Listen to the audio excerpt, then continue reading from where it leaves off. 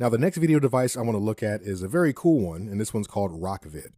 Now, I'm not entirely sure if this one's free or not. This one does not come from the maxforlive.com website, but you can find this on the Ableton Live website if you just search for Max for Live devices. I'm also not entirely sure if this one's free. I've had this device for years, and uh, when I got it, it was for the purposes of developing a course. Uh, so I'm not really sure if I had to pay for this or not, but you'll be able to see it, and uh, you will find out soon enough. Either way, uh, this device is very, very cool and really simple to use. I'm going to take this, and this is not a MIDI device, so I'm going to throw this onto an audio track here. There we go, and there's my little window, and here's the very pretty GUI. Now, one thing with Rokvid, uh, this is a little bit more picky in terms of the video files that you utilize. The other devices that I was showing, I was able to load in .mp4s, I could load in QuickTime, .mov videos, etc. Uh, with Rokvid, your best bet is to just use .mov files, okay, QuickTime files with that .mov extension. So with that in mind, I'm going to go to a different folder that I have of some videos that I recorded myself uh, over yonder. Here we go. And uh, yeah, this is a little video that I did messing around, uh, trying to create something for the intro of this album that I just released. And that's me in my basement looking at my camera. So we can see that's playing. Uh, it tells me that that's the video right there. Now, if I want the video to stop playing, I can simply just hit this and it'll stop. Want to see it again, it'll play. If I want that video window to go away, I can hit this box right here, get rid of it, bring it back, and there I go. But what really makes this device cool is that we have numerous different effects here uh, where we can alter the video visually.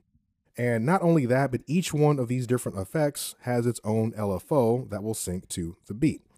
So this is a lot of fun to play around with, and uh, I like this device a lot because it's very, very simple to approach. I'm going to make this video window a little bit bigger, so it's just more obvious what's happening here. And uh, it'd probably be a good idea to have some sort of beat here. I actually started from scratch, so I'm just going to bring in a different little drum beat, uh, something quite simple. Let me see, go into our drums, and uh, how about, here we go. I like this kit quite a bit. Now, I'm only going to create a beat for the sake of having something rhythmic happening that's not a metronome, so you guys can see how the LFO uh, can be very useful for us. We want the video to react rhythmically. We have a clap there, and I'll put another clap over here, and some more random kicks. I'm not really trying to make the best beat in the world, uh, but it'll serve our purposes. And I think I have some hi-hats around here too. My tight, tight hat. I'm not sure if I should be cursing in these videos, so we'll just say tight hat. All right, so I'm gonna just copy that like so. Okay, so let me just play the beat. And I'm gonna slow this down. It's a bit faster than it needs to be. Reduce the velocity of these hi-hats. Okay. All right, so going to my audio track that has Rokvid on it. If I fade any of these up, any of these little faders here, we can see the effect associated with that uh, is affecting the video in some very interesting ways. So that's the error effect. Here's the candy effect. I like that.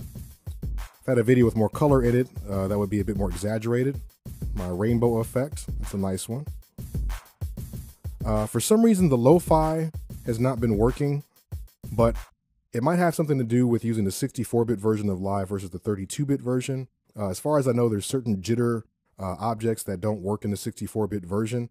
Uh, and jitter is the thing in Max that allows us to utilize video. So I'm not entirely certain, but I think that might be the reason why lo-fi is not working. I'm using the 64-bit version of Ableton Live, and just this one effect has no effect when I'm using this particular version. With that said, all the other ones seem to work just fine. So let me just fade this down. Warp is here. It's trippy, bro. I like that. Start Ghost is very nice. You get these nice little visual trails here. Too many psychedelics there. We have our move cam. And then we can blend between the wet affected signal. So for instance, if I turn warp up, I can blend between the unwarped video and the warped video. Now the cool thing is we can use any combination of these effects. So for instance, warp with rainbow, with some ghosting, with a little bit of error, and my candy, and it becomes very, very, very trippy. But like I said, what's really interesting about this is the ability to utilize the LFOs that are here for all the different uh, parameters.